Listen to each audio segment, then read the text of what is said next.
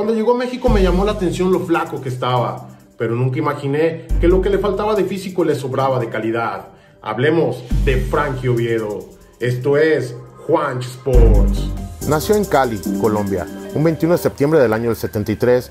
Él fue un joven flaco y al contrario de lo que muchos podrían pensar, el joven tenía fuerza, pero sobre todo le sobraba un buen fútbol. El joven colombiano no tardó mucho en debutar en el fútbol cafetalero, haciéndolo en el año del 95 en el Club América de Cali.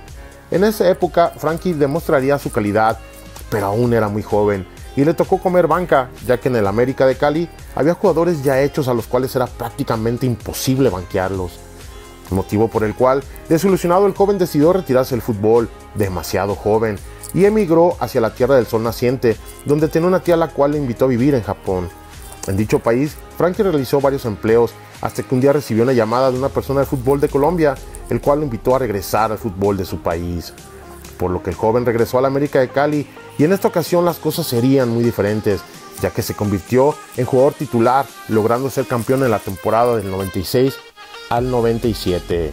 Por lo que después de obtener dicho título, su calidad trascendió fronteras, para ser específicos en tierra azteca, llegándole a la oportunidad que le cambiará la vida, al Diablo colombiano le habían salido alas, llegando a la América de México en la temporada del 2000. Desde su llegada el colombiano demostró calidad, nos regaló grandes goles, así como asistencias que no cualquiera hacía. Pronto el colombiano empezó a robarse el corazón de la afición americanista. Frankie pronto se hizo con la titularidad y fue a base de garra, corazón y calidad que Oviedo se volvió uno de los consentidos de los seguidores de la América. Así fue hasta la temporada de 2002. Frankie se coronó campeón con el equipo que le dio alas, al que alguna vez fue un diablo rojo. Con el equipo de Cuapa jugó hasta el año del 2004, de ahí pasaría al Puebla, así como al Pachuca y por último al Necaxa, terminando su carrera en suelo mexicano. En el año de 2007 jugó para el club venezolano Deportivo Táchira, para después colgar los tachones en su país con el club Boyaca Chico.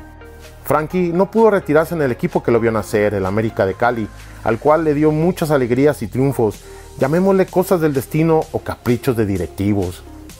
Actualmente Frankie vive en México, país que considera su segunda casa, siendo director técnico del equipo femenil del Tijuana y en más de alguna ocasión ha manifestado su deseo por dirigir a las Águilas del América. Ese fue Frankie Oviedo. Si te gustó el video, te invito a que te suscribas, a que compartas este contenido. Regálame un like, lo cual no te cuesta nada y a mí me ayuda bastante. También es momento que des clic en la campana para que te lleguen notificaciones cada vez que subo un video. De igual forma, no te olvides dejar en la caja tu comentario, qué recuerdas de Frankie Oviedo. Mi nombre es Juan y estamos en contacto.